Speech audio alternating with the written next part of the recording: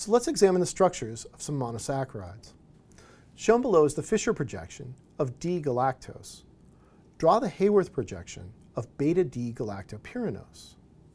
The strategy we're going to employ here is to review the cyclization of glucose discussed in this section. What hydroxyl groups would be likely to contribute to a ring structure? Which hydroxyl groups would have to contribute to form a pyranose?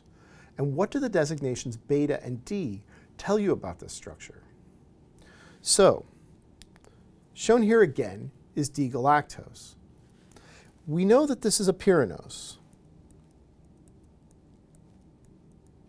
And please recall that a pyranose is a six-membered ring. If this ring is going to have six members in it, we know that one of those members has to be an oxygen. Please recall that these structures are going to form either hemiacetals or hemiketals. In this case, we have an aldehyde, so we'll form a hemiacetal. If we form a hemiacetal and six, if one of those members has to be an oxygen, that means that five of them have to be carbons.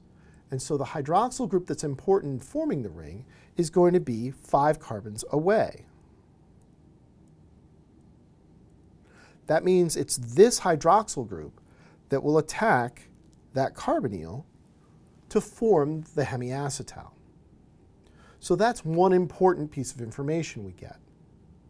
A second important piece of information we need to get from this Fischer projection is the position of those other hydroxyl groups around the ring.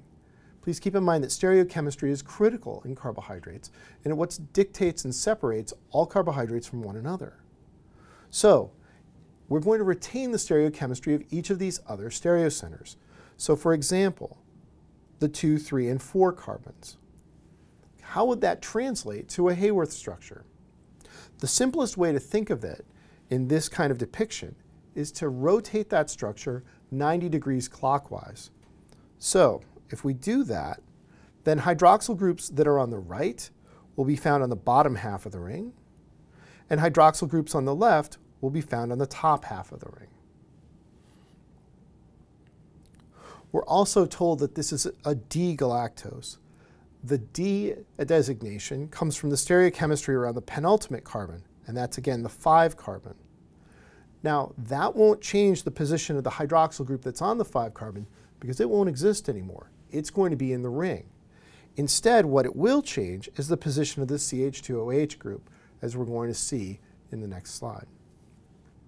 So if we look at the solution here, we see that again, this hydroxyl group on the 5 carbon has formed this ring working through that anomeric carbon, the 1 carbon.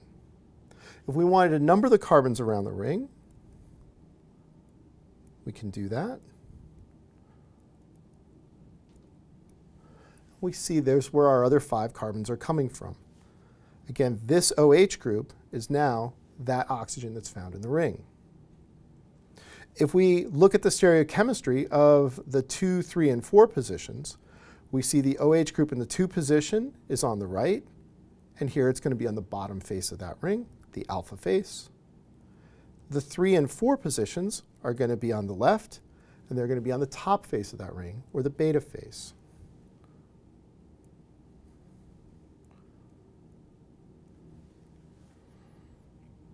We're told this is beta D-galactopyranose.